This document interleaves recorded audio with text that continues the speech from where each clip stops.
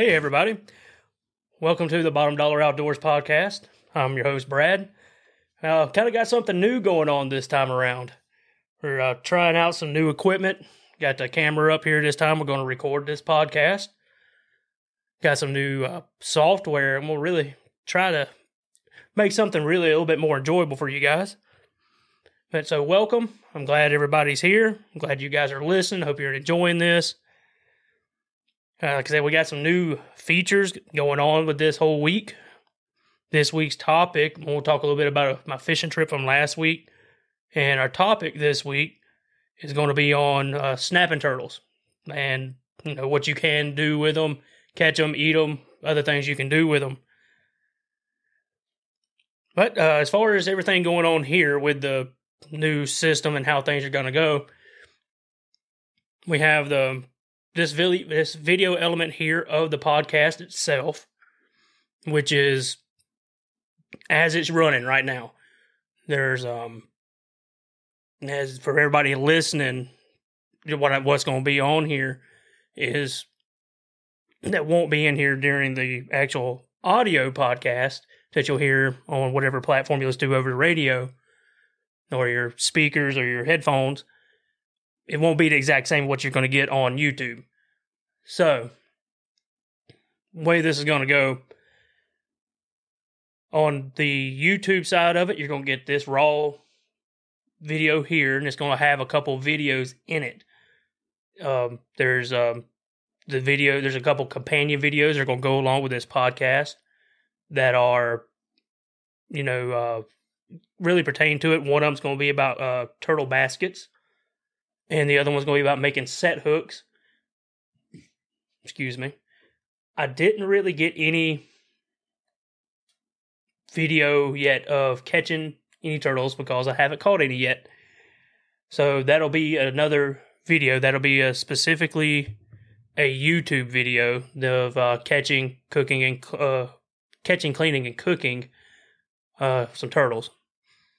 So we're gonna get right into it, man. I mean, so you won't get to see those videos or hear those videos on the audio version, but you will get to see them on YouTube. And then both of those videos will also be standalone videos on YouTube also. And you'll also be able to find them on the website www.bottomdollaroutdoors.com. So, well, last week we um I didn't release a podcast last week. Like I said, I was sorry I didn't quite get into everything that I should have done um, right there in the weekend. And all of a sudden on Sunday, I was like, well, you know what? I can, don't have to work this week. I got time. I'm going to go fishing. So I called up my dad and uh, we went down to Santee Cooper to do a little bit of fishing. Oh, sorry about the background noise. It was there's cars going up and down the road, so sorry about that. If you, we'll try to make a little bit of adjustment here so you don't hear them quite as much. So we went down to Santee Cooper, and uh, I got down there Monday afternoon, probably around six o'clock. Had some things I had to do around here at the house, as far as uh, like taking care of animals, some chores I need to take care of, get the grass finished cutting it.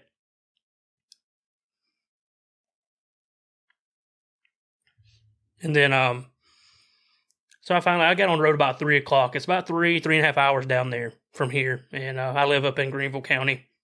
South Carolina, and it's about Santee Cooper. Like I said, about three and a half hours drive. So we get down there. We go. We catch a little bit of bait before dark, and we fish. We fish. I think well into about one o'clock, two o'clock in the morning. only caught one fish. Uh, one of the other guys that we was fishing with, uh, my dad's friend, our family friend Tim, he he caught a good many. Um, had a few misses out there drifting with planer boards out there in the middle of the of Lake uh, Moultrie had a really good time. It was really, really a good good night of fishing. Come back, uh, get up the next morning. Everybody decides to sleep in a little bit, relax. So we go out. Um, that day we went out and we done a little bit of uh, anchor fishing. After we went and had breakfast at Canal Lakes uh, next door. Then we, we decided we went we done a little anchor fishing, um, kind of what we call the stink bait bite. Tried out some new baits that we're looking at, and we caught a couple fish. Had a lot of bites, tons of bites, but we know that they were you know smaller fish is what we what we pretty much gathered that they would be. I got to keep an eye out over here because this thing stops recording after 30 minutes. So, but we will have to. Uh, we would we caught a couple fish. I only caught one that that trip. Um, so we went out. or went back to the uh went back to the cabin for a little while. Dad and Tim they had to go to um back to the store go get a few things. I was going to take the boat down the canal there and go catch some bait. I get down there, the wind is whooping, and Dad had told we had some issues with the trolling motor. He said that it didn't work, so I didn't even deploy the trolling motor to kind of hold me still there in the canal. So didn't use it. Well, I went to go move, and battery was dead. Battery was completely dead. I tried um, running the jumper cables over from the trolling motor batteries down to the starting motor or the starting battery system. I tried everything he told me that what to do. Nothing. They were all too low. So finally, luckily, I was so lucky that the wind was blowing back up the canal from Moultrie towards Hills Landing. So what I did, and this was, you know, I didn't have a paddle. I don't know why in the world we don't have a paddle on this boat, but I was just so lucky that the wind was blowing that way pretty stiff. I just kind of laid the, took the bimini top and laid it forward and used it as a sail and just used the motor as a rudder and steered my way back to Hills Landing. Got back up to the landing. Um, we got on the front of the boat, picked the uh, bimini top back up, got up on the front of the boat, and actually used the anchor and just kept throwing it as the wind was blowing, just throwing it back closer and closer to the dock till I got myself there. About wore myself out. It was hot. It was probably 95 degrees outside in the sun. I, I almost just passed out on the boat. It was awful. But I got it with the boat hit perfect, exactly where we had it parked up against the bank when I left. So got it back there. Turns out, luckily, it was a loose wire. Spent about an hour looking for the wire. Finally found it in behind the battery. Tight or put some um, dielectric grease on it. Cleaned up all the connections on it, the battery, everything. Put it all back together. Put it on the charger for 30 minutes. Fire dried up, and they it ran fine for the rest of the weekend. The rest of the couple of days. So that night we were gonna go back out. We had went and caught a bunch of perch for bait we were decided to go back out that night. Well, we got in there, man, we were all tired. It was hot. We'd been working on the boat. We decided to kind of call it a night and go early in the morning because I had to go home the next day. Well, lo and behold, I was, I don't know why, I could not sleep for anything. Just couldn't sleep. And we were going to get up at four in the morning. we went to bed around 9 30, 10. I was still laying in there looking up at the ceiling whenever Dad come in at four o'clock in the morning, and I said, "Man, it's like I ain't gonna be able to do it. I've got to drive home, get my son tonight." And I was like, "I'm just not gonna be able to go." So, needless to say, I didn't get to go the last day, and of course, whenever I left, they slaughtered the fish. I mean, they absolutely slaughtered them, filled up a whole cooler full of fish. And then that night they went back and they laid into them again. So just my luck. It's how it usually runs. I have a rough week of fishing. Don't catch a whole lot of fish. As soon as I leave, everybody does good with it. I don't know if I'm just bad luck on the boat or how that works out, but that's what happened. As I know, I'm this is my first time doing this, so I'm trying to look at the camera, but I know that I bounce around a lot. I'm sorry.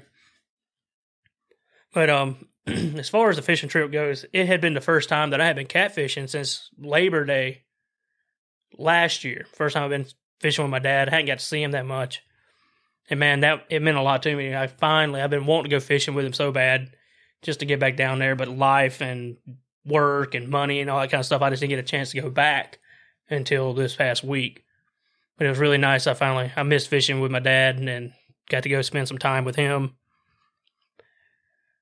and um, as far as and coming on this week, um, we have our outhouse story of the week. Man, uh, this guy, mm, man, I don't even know.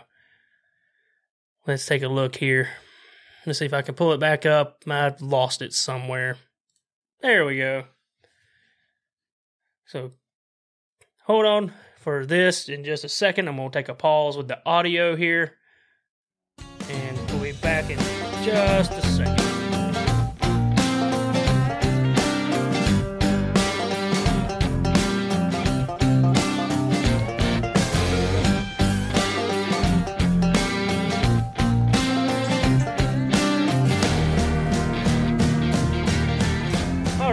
we're back, and uh, it's time we're gonna get into our the weekly, you know, foolery of what's the outhouse. And this week I've got a article here about some some genius down in Louisiana.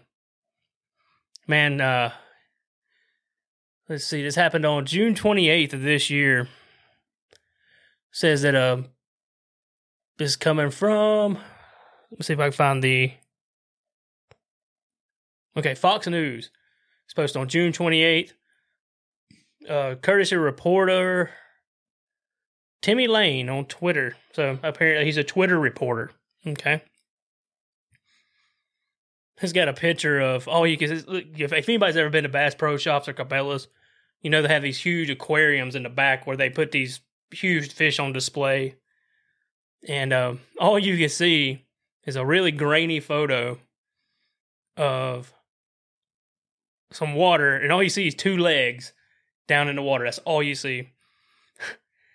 I will share this story in the article on the on the website, but says a Louisiana man seen in a Louisiana man seen in a viral video swimming inside an aquarium at Bass Pro Shops has been arrested, according to reports. Kevin Wise, 26 of Slidell, Louisiana, was charged with a simple criminal damage to property, just a misdemeanor, the Bossier City Police Department said, and here it goes on. It says the suspect went in the tank in Bossier City as part of a TikTok stunt, according to KSLA TV of Shreveport. Uh, this is a quote coming from Wise. It says, "quote I said that if I got two thousand likes, I would jump in the tank." well, according to the you know the station here, says quote goes on to say, "I got way more than that, and I didn't want to be called a liar." End quote. The video posted by Treasure McGraw allegedly showed Wise swimming in the store's fish tank, climbing out, and then fleeing the store. Uh, this comes from the Shreveport KTAL TV. And then it goes on to say here that Wise was arrested after subsequently returning to the store for some reason why you would go back to the scene of the crime. I have no clue on what this guy was thinking. Get your damn TikTok video, get out. Why go back and get yourself caught? I mean, they're, they're probably sitting there writing a damn police report, and guy walks back in, and there he's soaking wet, and they bust his ass. says the store determined that it would incur costs for emptying and cleaning the 13,000 gallon tank after the alleged stunt prompting the filing of a complaint with the police. So, you know, apparently this guy must have been nasty. I mean, they're going to have to drain the whole tank and refill it with new water for whatever reason. No idea. I mean, most of the fish that are in these tanks are not aquarium fish. The, I know a lot of them are fish that are caught in the wild. Some of them are state records. Some of them are world record fish. Uh, so they're it's not like these fish ain't never been in a lake. And what's the one thing in a lake? People. People are out there swimming boats in the water. I mean, this guy jumping into the tank, swimming around, unless he was just the nastiest son of a gun ever, and just got in there. I don't know. But they said that they drained it out, cleaned it, and filled it back up with water. So they incurred some cost in that, which led to Wise being arrested. Damn, I I'm you know, I'm in that face MySpace, Facebook, YouTube age. I don't know anything about TikTok. I don't even have it on my phone or as a part of my social media. But man, there's a lot of people get doing a lot of dumb shit because of TikTok. But, you know, whatever makes you famous, I reckon. But that's the outhouse story this week, man. This what an idiot. But like I said, I guess he got his followers and he's happy, and he well, at least we know he might be an idiot, but we know he's not a liar. But this week, uh, our main topic this week, we're going to be talking about turtles in general. We're going to be talking about snapping turtles. We're going to be talking about um, even soft shell turtles, turtles that you can eat. So we will move on to our topic here. We'll be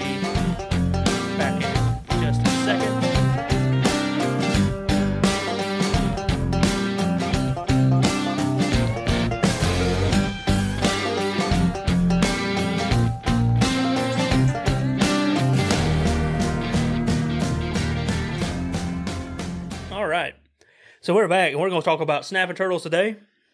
And uh, this is one of my favorite things to do. I grew up doing uh, catching these turtles with my grandpa, and he would always make turtle stew. We do fried turtle, and uh, I even heard of people doing turtle sausage. I haven't ever had it, but if it's as good as fried turtle turtle stew, it's going to be delicious.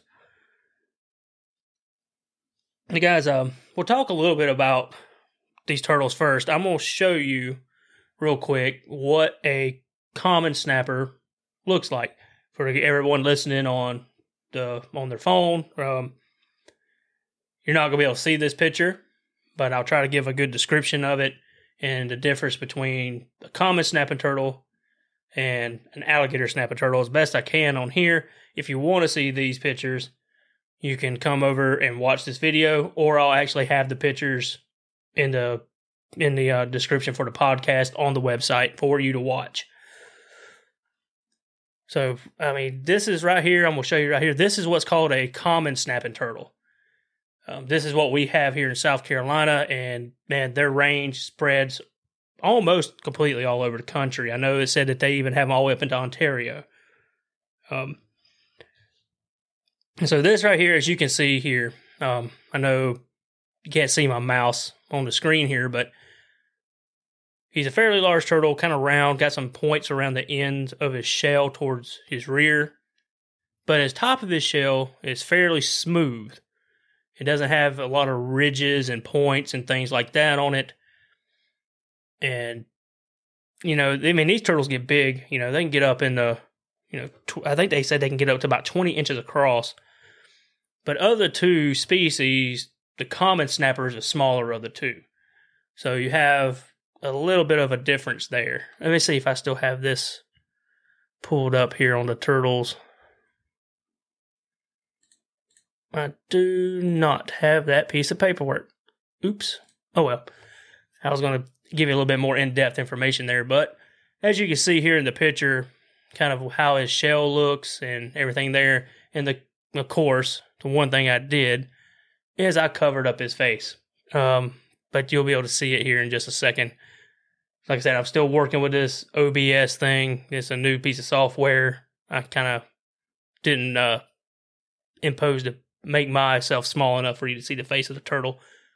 But if anybody's ever seen a snapping turtle, you know it has kind of a real sharp beak with a pointed mouth, and I'll, you'll be able to see that on the alligator snapping turtle picture here in just a second. And it's that part is fairly much the same. But yeah, this right here, this is the allig- or the common snapping turtle. All right, so like I said, that's that's the old common snapper there.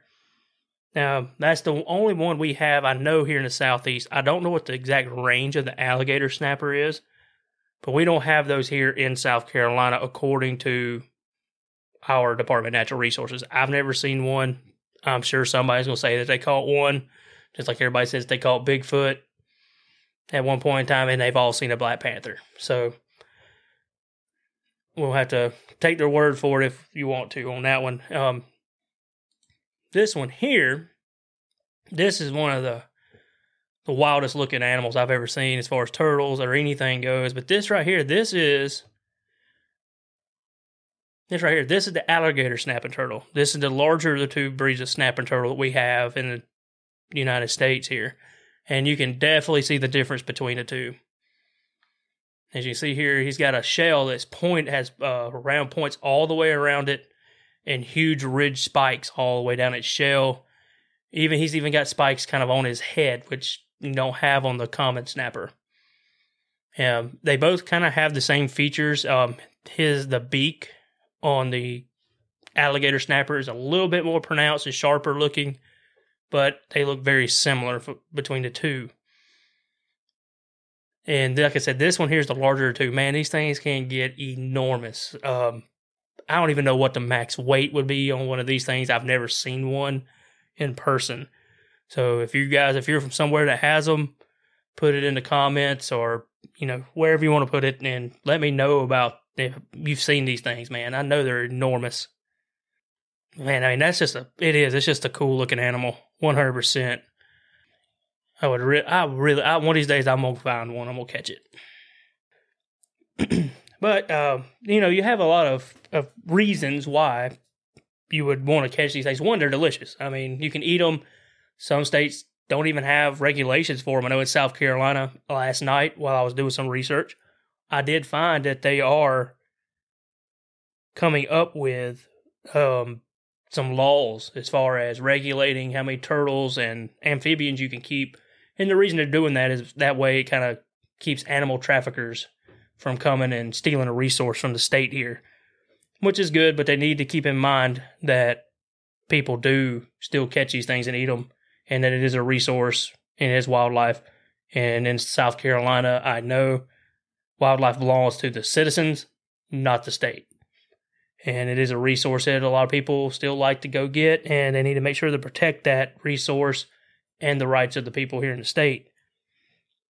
But they are, as far as, you know, why get rid of them, there's really, they don't, the only nuisance problems I've ever heard of these turtles is that some people do believe that they wipe out fish populations in ponds. But man, as little as these guys eat, it's just like any other reptile. They eat once, they may not have to eat again for a while. I mean, it's just like alligators uh, you know, lizards, things like that, if they can eat snakes, once they get a good meal, they can go days or weeks without eating again. So um, the only time I've ever heard of there really being an issue as far as them being like a nuisance animal is when they you have I know the one time that somebody actually called me because you know, I explained before in one of the other podcasts I used to do some uh, wildlife damage control.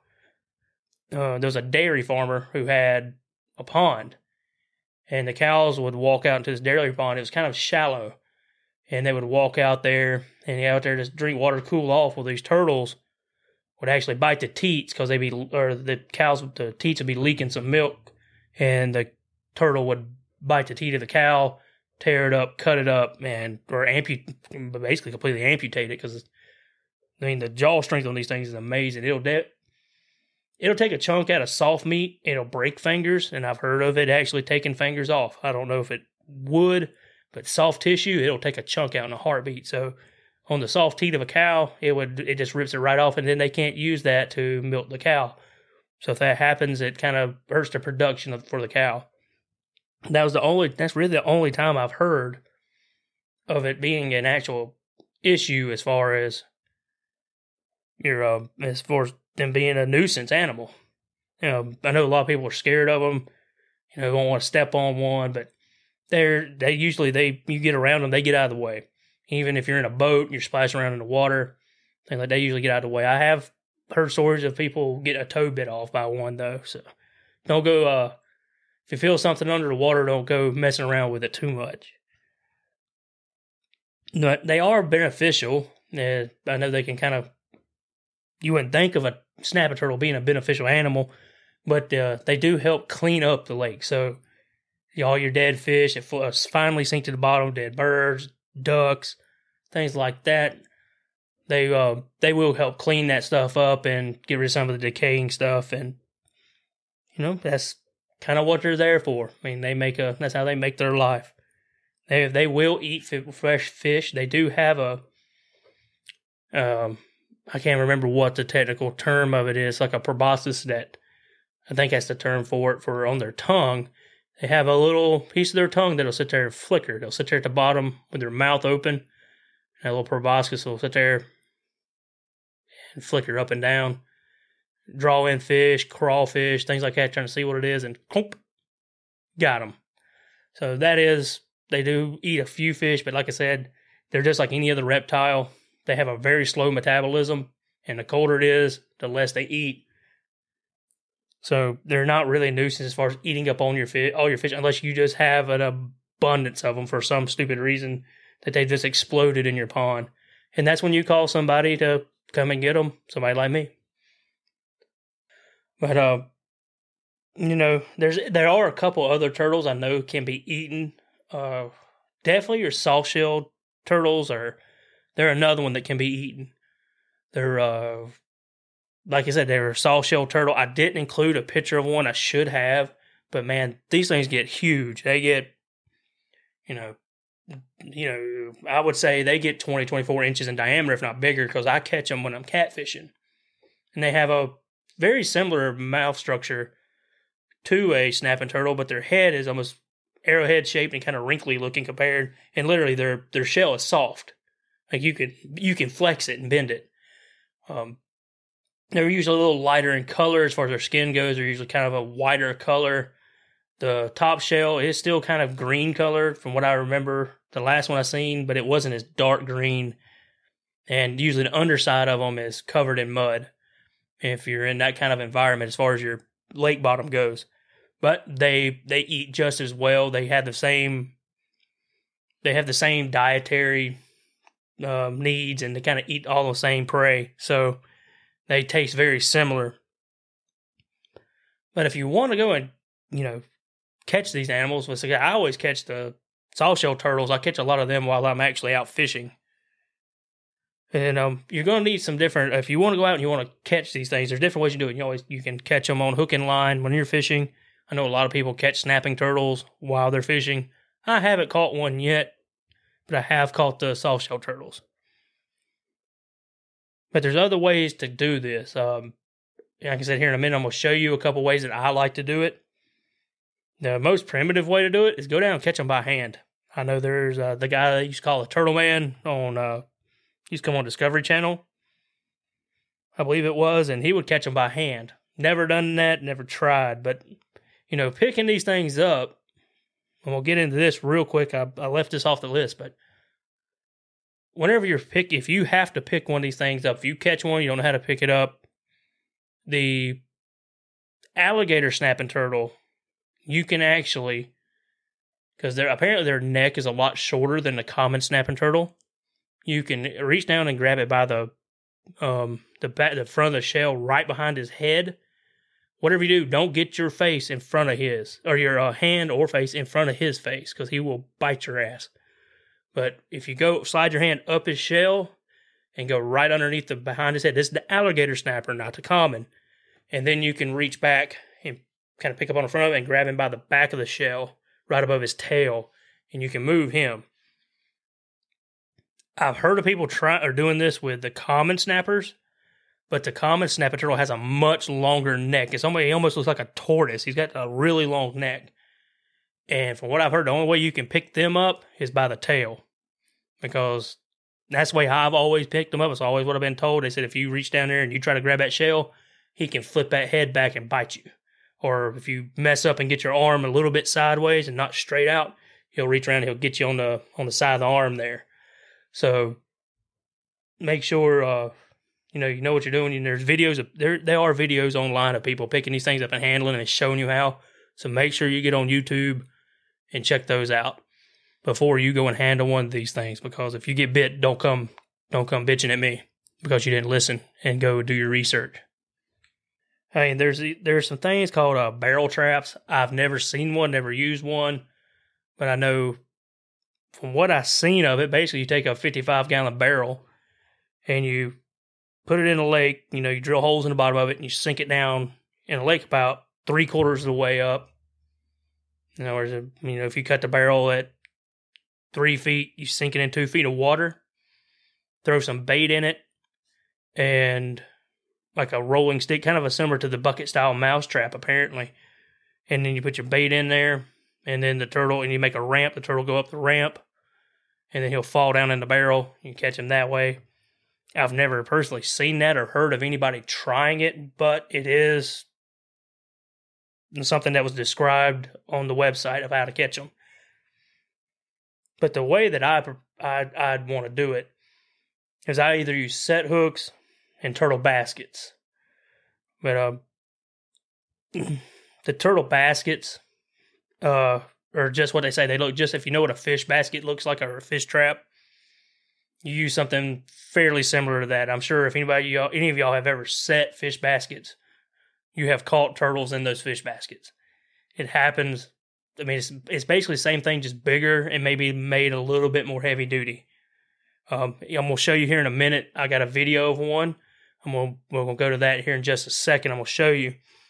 And then you also have set hooks, which is basically just a a rope with a hook on it, some bait tied to a tree, thrown out in the water, and they'll come by, bite it, get hung on the hook. You just pull them up, and you got them. Um, as far as other equipment that you're gonna need, uh, one thing I know you're going to need when you're out there is you if you're going to be out in the water any setting these things, you're going to need some waders or something like that if the water's cold for some reason. In summertime, just wear some shorts, walk out there, set all your stuff up.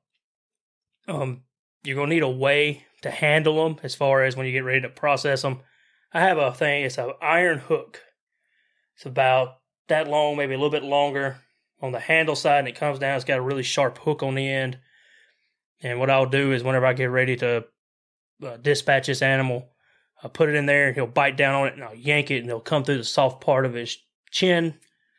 And uh, by the way, I can maneuver his head around to get to him where I can cut his head off to dispatch him. That's something you're going to need or a way to get his to get his head out of his shell because he'll draw up and you won't be able to kill him. uh, see, another thing you're going to definitely need if you're going to be doing this is you're going to need your, as far as your, you know, your basket stuff like that, you're going to need bait. So as far as bait goes, you can use just about anything, whether you want to put it in your baskets, uh, envelope, which is the envelope which what you'll put your bait in, and put it into the basket, which you'll see in just a minute on the video. As far as the set hooks go, we're going to show you that video here in just a second. But basically, all the set hook is is a hook attached to a piece of string that's baited and that's tied to a tree.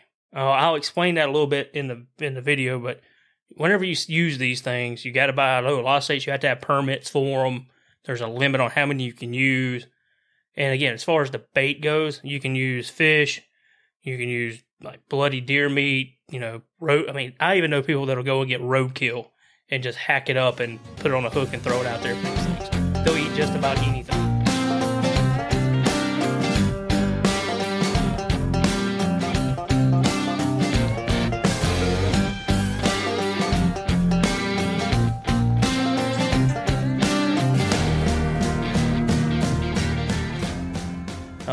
I just showed the video real quick of how to do the set hooks. If you want to see that, you can dive right over to the uh, website or on YouTube and go back and watch this. There'll also be standalone videos on YouTube of that and the uh, turtle baskets coming up here shortly. Hopefully, I'll have them up at the same time that this podcast launch. But so you go and you catch one of these things. What are you gonna do with it? And the number one thing you're gonna do is you're gonna cook them. You're gonna eat it. I mean, what else? Why else would you be doing it? And you in the state of South Carolina, you're not supposed to take wildlife from one place and release it in another. And if you catch one of these guys on one of those set hooks, trust me, you're not going to want to try to get that hook out of his mouth because usually they swallow it for one. Usually they swallow it deep and that's how it hooks them. But uh, yeah, you're not going to want to reach in there with a pair of pliers and try to take this thing out. So what you're gonna do? Most people like me, I'm gonna eat it, man. I, I they're delicious. They're wonderful. Um, they can have kind of a fishier taste to them, and depending on what kind of water you get out of, get them out of, you know, it could be if it's really clean water, things like that. That that's good. Sometimes the water that you get them out of can kind of affect the taste. So what a lot of people do just like what they call prep them or cleaning them out. So what you'll need to do that is you'll bring the turtle home. You'll cut the uh, if you caught them on a set hook, sometimes they don't live long enough to kind of do this with. But if uh, you catch them in the turtle baskets, you can bring them home. And if you have a big tank of water or a 55 gallon drum, something like that, in a good shady spot, you take and you'll fill it, you know, enough where the turtle can get his head up out of the water and breathe a little bit. And like I said, you'll put fill this thing with water where he can breathe and set it in a shady spot and put him in there and feed him, you know, for a, a week or two. And you can feed him potatoes, they'll eat those. If you want to feed them meat, you can feed them meat. They'll eat it as they want. Uh, the thing about using meat is, like I said, they don't eat a lot. They don't gorge themselves. So if you put meat in there, you might want to make sure that it don't get rancid, and if it does, take it out.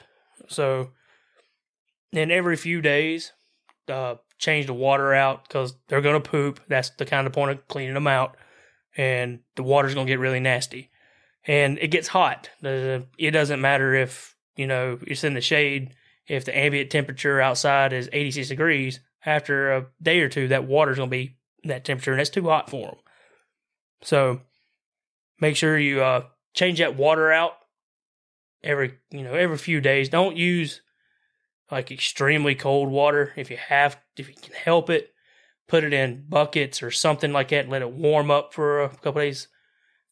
Um, one way that I've seen to do it, if you needed a lot of water, say if you got a, a big tank like I do, what I what I normally do with it is I'll take a a, a couple buckets, fill them up, let them kind of warm up, but I'll take a tarp and put it in my wheelbarrow, fill it up with water, and let it warm up for a couple hours. That way, you know, if that water's 80 degrees or 85 degrees in that tank where the turtle's at, you drain all that water out, his body temperature, because they're cold blooded, is going to be that 85 to 90 degrees. Well, you take you know, if you got well water, it's going to be cold. It's going to be in the 50s. Or, you know, city water, it's going to be in the 60s, 70s. You go dumping that cold water in there on him, it can put him into shock. It can kill him. Um, they're not used to that kind of rapid change in water temperature. So kind of let the water warm up a little bit before you change it out. But I would do this for about a week. We always fed them potatoes, cabbage, whatever. They'll eat it. I mean, they'll eat just about anything when they get hungry. So you do that for about a week. and kind of cleans them out, as they say, changes the meat uh, flavor a little bit, gets a little less fishy, but it kind of gets some of the, you know, the weird funk out of them. Me, I'll eat them straight out of the lake. Sometimes I don't even care. But you no, know, the old timers always say clean them out. So if you depend on which one you want to do, do it. Um, as far as equipment goes, when you get ready to dispatch one of these guys, all right, you're going to need several things. The first thing you're going to need is a hatchet or an axe. That and that that hook thing that I was talking about, it's just a it's a long piece of iron. It's about this long or so.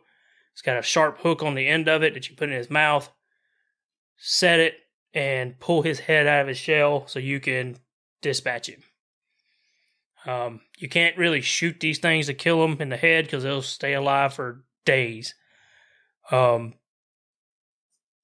so what you want to do is you're going to take his, going to have a piece of rope with a loop on the end of it, and that's what you're going to use to hang him up. Go ahead and uh, what you're going to do, pull his head out of the shell with however means you got, kind of, and what you can do the best way to do it is kind of put have a stump or a rock or something like that. And you put his shell on one side and kind of pull his head and neck out over the top of that stump or rock, whatever it is, and take your axe and or hatchet, cut his head off right then and there.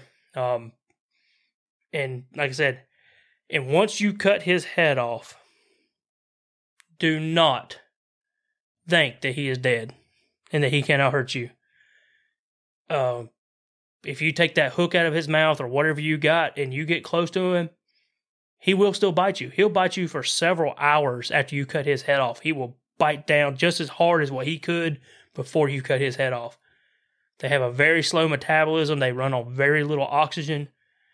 I mean, their heartbeat is so slow, it's crazy. Their their actual heartbeat will beat for a couple hours after you cut it out. I mean, that's how. I mean, that's how hard these things can survive. I mean, they can they hibernate, and I'm telling you, it's an ama- They're amazing creatures, but be very careful with them.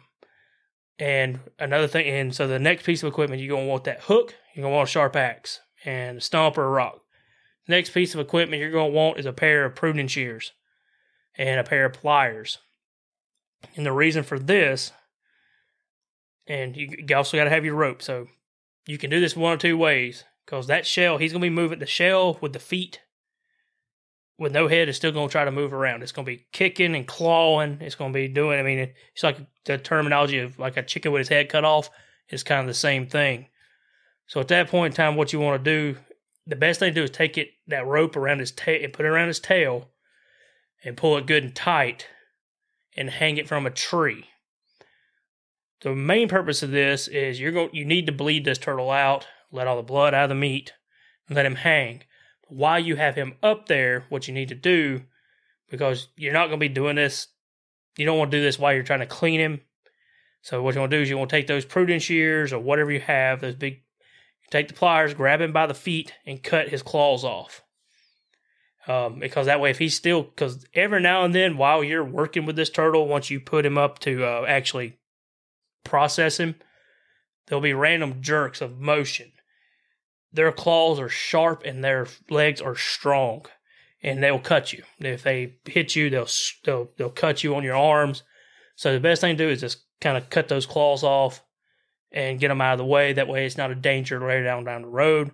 Some people don't do it that's my advice is to cut the claws off. You don't have to cut them high. If you come too high, you're kind of getting into your meat that you're going to get. All right. So I'm not going to really get into how to process one. There's a lot of, I don't have one to show you. If I had one to show you, I would tell you how to do it. There's numerous videos on YouTube that I suggest that you go and watch on how to clean a snapping turtle. Um, I mean, there's different ones. But as far after you do that, and you let them hang for you know 35 minutes to an hour, somewhere in there. You're gonna get ready to process them. Well, the next piece of th- equipment that I'm going to suggest that you have is some really sharp knives. As far as because what you have to do, you have to separate the shell from the turtle. Uh, you have to separate it from the, the bottom shell here from its back shell. So you're going to need some really sharp knives, possibly like a really big uh, flathead screwdriver to kind of pry that apart. But um, like I said, you can look that up to how to do that part. But the next, um, everybody kind of has their own way of doing that. The way that I like to do it, you know, if you put this guy on a table, a flat table, and uh, you try to work with him, he's going to be that table. He's the shell's rounded. So he's going to be moving around up and down, side to side, spinning around. You don't want that. So what you do is you take a, if you're going to be working on a table that's already there, then what you need to do is you take a piece of wood and to get two nails, two long, like I would say some, you know, decent framing nails, and drive through that piece of wood. You want them about, you know, no further apart than four inches apart and you want them coming up out of the wood and sticking straight up towards you. You want the head of the nail down, nail sticking up. What you're going to do is you're going to take that shell or that turtle and you're going to hold him upside down with his back shell down towards that wood. And you basically you hold him in your hands and you pick him up. My microphone's in the way, but you're going to slam him down on those two nails. And that'll hold him and it'll go through his shell and it'll hold him steady if you want to, and this is something we'll get into in a minute, if you want to save that shell, the back shell, for arts and crafts, things like that, things that you can do with it, which I suggest you do. Use every part of the turtle that you can. Um, then you don't want to do it this way. You want to do it the, the other way where you can, you know, you just spin him around and cut him. But if you don't care about the shell, you just want the meat and you're in a hurry, put him on that board, slam him on those two nails. What that'll do is they'll you know they'll penetrate up through the shell and that'll keep him from spinning around and around and moving on you. If you just use one nail, then it'll keep him from sliding around, but it won't keep him from spinning. So, in a way, one I mean, it could be beneficial just to use one if you have a big table that you can't move around and you can just spin the turtle around on. If you have a small table you can walk around and work around, use two nails and that'll just hold them still for you.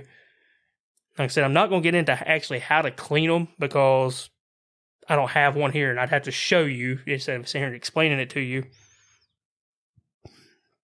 But I really don't have it. So once you watch the video and you learn how to do it and you get this guy, you get him process cleaned, the next thing you're going to want to do is you want to brine it. Brine the meat overnight in some salt water, you know, a couple cups salt to however much water you need, and a little bit of sugar. Brine him overnight before you get ready to cook him. Um, as far as cooking these guys, uh, you can either you can take you can put them in a soup you can fry it, and you make. I mean, I know some people grind them up, make sausage, and people do all kinds of things with them. Um, I'm gonna find some recipes. I'm gonna post up here on the website with this with this podcast. That way, you guys can do that. But uh, man, it's delicious. You can either fry it like chicken, with just your regular breading that you would use on fried chicken, or you can cook it up and deep fry it like you would do fish with your uh, fish seasoning. So, in either way, it's delicious and turtle stew is amazing. So um, I will find some of those and I will post them on the website.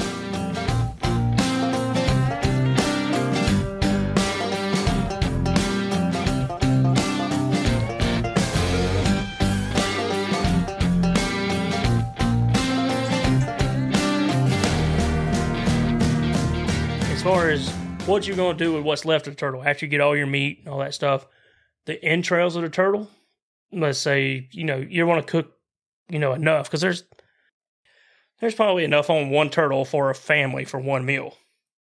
But let's say you want to feed like do a uh, like a wildlife or a wild game supper and you want to have enough for a lot of people well you're going to have to get more turtles. Well when you clean these turtles the leftovers the entrails and all that stuff you can reuse. Use it uh, put it in a bowl freeze it when you go back to set your baskets or uh, put out your set hooks, if you got entrails, what you can do with your set hooks is get a um, some cheesecloth, put it in cheesecloth, wrap it up, put it on the hook, or use uh, I, re- I don't know, I probably wouldn't use the uh, pantyhose method because the turtle's gonna bite it, it's not gonna feel quite right. I would definitely use the cheesecloth and kind of wrap the entrails up in some cheesecloth before you put it on your hook. Uh, or if you're using the turtle baskets, like you've seen in the video, just throw your entrails in that uh, little envelope, fold it up, put it in there. You can reuse those for bait. Um, you can actually grind some of that up and use it for dog food, those types of things. Just make sure that you uh, take out uh, the bile or the um, gallbladder, things like that. You know, the normal stuff that you would take out of a chicken or a fish, or a, I'm sorry, a chicken, you would take out of this turtle and dispose of it. And um, the stuff that's left over, like the skull, uh, you can actually use uh, if you have ever done like a European mount using beetles. You can use those. You it's, it's it's very hard to do, so you have to scrape. You have to boil that skull and scrape and scrape and scrape because it's tough. That that skin and all on that head is tough, but you can boil it and scrape it all down. Uh, do not use bleach when you boil it because that the beak still has some color to it. So you don't want to use any bleach or anything like that. Make sure the beak is sticking up out of the water a little bit whenever you go to boil it. But you scrape all that off. You can use the beetles or you can use a pressure washer. It just takes a long time. But the beetles seem, as far as what I've researched, seem to be about the best option as far as cleaning up the skull. And they look really cool uh, on display. Uh, very very cool little thing to have. And the shells, man, they're all over the place my grandpa's house. You can get them, uh, hang them up. Uh, when I was a kid, I used to take and uh, tie, drill a hole in them, tie a string to them, and paint them and run around like it's a shield. And I know some people paint scenes on them and hang them up, but it's a really cool thing if you have the the skull and the shell. Basically, clean that shell up really good with some uh, soap and water and get it nice and shine or nice and clean, and then go back over it with some um, some kind of lacquer or um, a, a sealant or something like that to preserve that color. And you can hang it up. It looks really good as a display, kind of a taxidermy piece in your house. Uh, there's, I'm sure there's a many, many other uses for it that you can use. Uh, the skin is so tough. I'm sure there's a lot of things you could do with it if you still wanted to keep it. Uh, but the the skulls and the shells and the claws, I know I've heard of people making necklaces out of claws, but I don't know how many people still be interested in doing that. But man, they're they're cool animals, man. They really are. They're not only really interesting in how they live and what they do, they're a great resource to have wherever you're from. But besides that, they're really, really delicious. So they're all around good animal to have. Uh, I know some states like here they've been unregulated, but because of animal trafficking and you know black market kind of stuff, then you know they're kind of putting some laws on stuff to kind of protect our resources. But um, guys, I'm looking forward next week to get you another show out. I'm not sure what the topic is going to be for ne- what the topic's going to be next week for this show. Still kind of working for that. Figure out what we're going to do. See, I'm, I want to get somebody on to come by, co-host, come sit down, talk with me or even uh, do a phone interview with somebody. I don't even know what the topic's going to be yet. So look forward to that. Uh, reach out to me if you have any stories you want to tell. I'm still working on that uh, the show that I want to do for you guys of all your stories and different things. So reach out to me with those. Uh, contact me. You can get me uh, as far as my email goes is bottom dollar outdoors at gmail.com. You can go to the website there and it has a place where you can contact me. It has all the links to all the social media pages, uh, facebook.com slash bottom dollar outdoors, Twitter, um, handle on there's catfish brad 864. The Twitter page is bottom dollar outdoors. It's all listed there on our website, which is bottomdollaroutdoors.com. And make sure you go to if you're listening to this on Apple or you're listening to it somewhere, go and leave a review. Um, please, if you give me what you honestly think, I prefer you give me five stars, but let me know what you really do. We really do think about what you're getting from me because it helps me.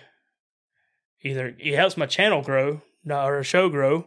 Not only that, but it also gives me the feedback of what you guys want to hear, and helps me make the show better for you. But, you know, reach out to me, man. I really hope you guys enjoyed the show. Look for this, the videos for this on YouTube. If you just want to watch just the videos, if you're listening online, you want to go back just see the videos. You can go back and watch those. They'll be freestanding. Or if you got some time and you want to watch me talk to a camera and fidget around and not know what I'm doing as far as how to work all this damn equipment, I don't have a I don't have somebody over here sitting beside me that I can yell at and tell them what to do. So I'm trying to run computer, audio, camera, all that stuff all at once by myself. I'm sure this was like a shit show. I'm sure it does. But guys, thank you all for listening. I hope to catch you again next week. God bless America. God bless every one of y'all. Have a good night.